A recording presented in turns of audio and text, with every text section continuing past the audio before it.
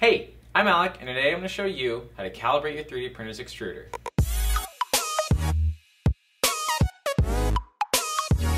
3D printers work by using stepper motors to make precise movements along each axis. Now out of the box, most 3D printers are well calibrated.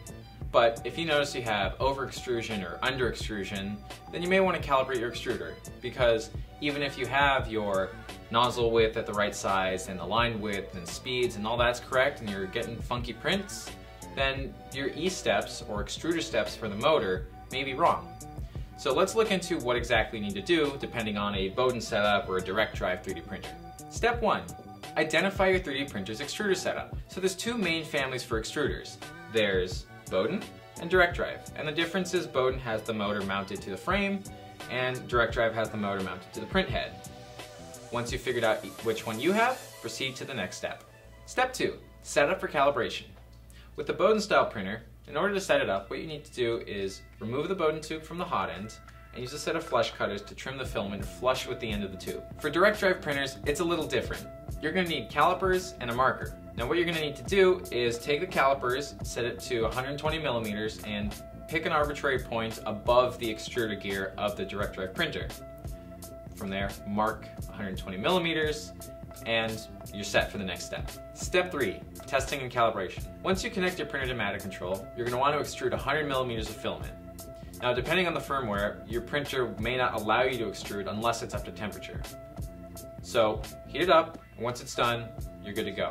For Bowden style extruders, what you're going to do is you're going to measure how much filament came out at the end of the tube. It's 95 millimeters, you're under extruding. It's 105 millimeters, you're over extruding. So do this a couple times and take a, an average of how much is coming out before we get to the next step.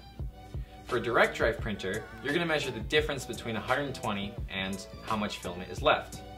If it's 25 millimeters, then you're under extruding. If it's 15, you're over extruding because really there should be 20 millimeters of filament left. Do the same thing, take an average and write that down.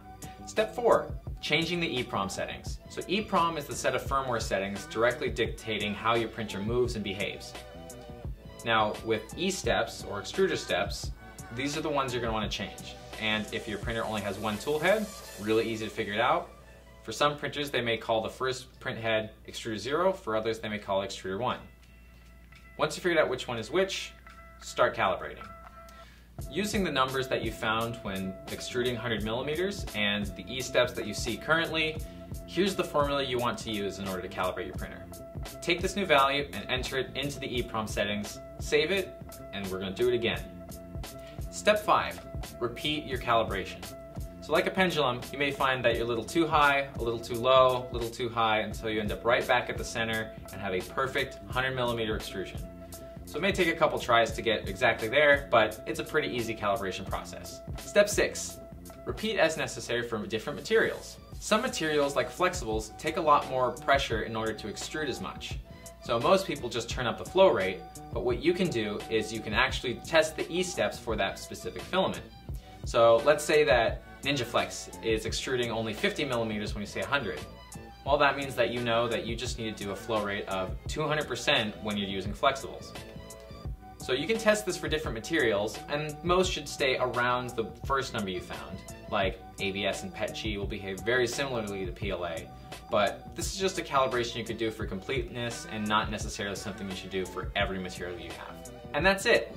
Now you should have a perfectly calibrated machine. If you have any comments or questions, feel free to leave them down below. I'm Alec from Matter Hackers, thanks for watching. Thank you for watching. If you liked that, subscribe to our channel to keep up to date with all the latest videos. And don't forget, go to matterhackers.com to shop for everything 3D printing.